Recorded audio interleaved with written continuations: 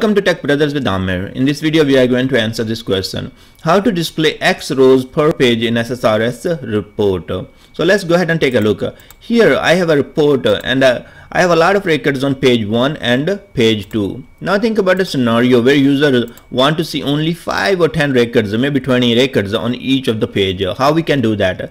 Let's go to design. We will be going to details, right click, add a group and parent group.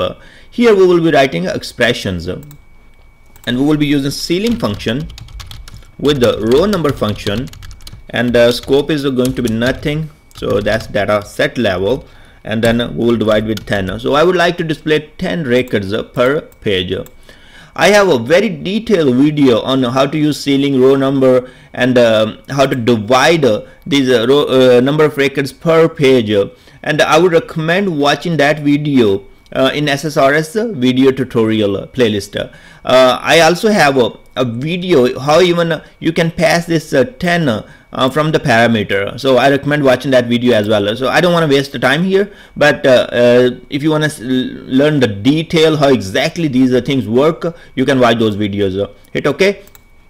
Now we are done here and uh, let's uh, preview the report. Uh, once we preview the report we will see some error. So there is some uh, error. Row number cannot be used in sort expression. So in this group uh, we have to remove the sorting. Uh, come to the group right click group properties and here we have sorting. I don't need sorting here so I'm going to delete that hit OK and next we can preview our report. You can see that by using ceiling and row number, we are able to divide them in groups and 10 records are divided into one group and uh, then we have second number that's another 10 records are divided into that. Now we are pretty good. We have uh, the groups of 10 records and uh, here is our group number 1 and 2 and 3 now we can go back to design and do something more about it. One we can go back here go to group properties and add a page break. So once we click that one then it's gonna put records on each of the pages. So you see that per group are going to be next page. So you see that on each page we are having those records. Now the only thing what we see here this uh, group is stuck there. We don't really need that. We can remove that if we would like. So we come come back here and uh, let's say if I want to go ahead and delete this one and I say delete column.